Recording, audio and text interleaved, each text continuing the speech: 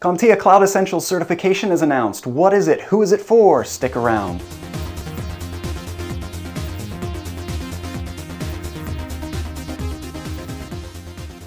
Hi there, I'm Ron Hogue, and this is not a UPS shirt.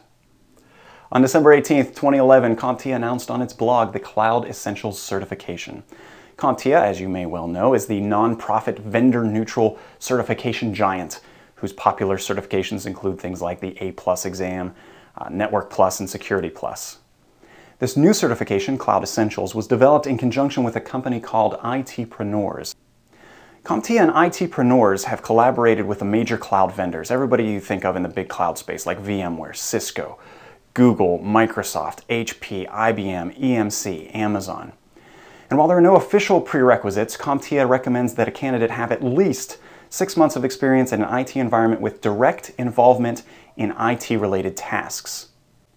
Taking a look at the topics, we have the business perspective and business value constituting about one-third of the exam.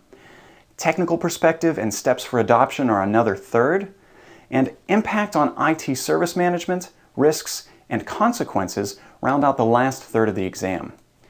Based on these topics and the lack of prerequisites, it seems that this certification is probably geared less toward the highly technical and more toward the IT management, IT project management, and business analyst crowd. What do you think about this new certification? Who do you think would most likely benefit from a cert like this? Let me know in the comments below. And in the next video, I'll discuss what training options are available to us for this certification. If this is good stuff, like it, tweet it, subscribe it, share it. I'm Ron Hogue. I'll see you in the next video.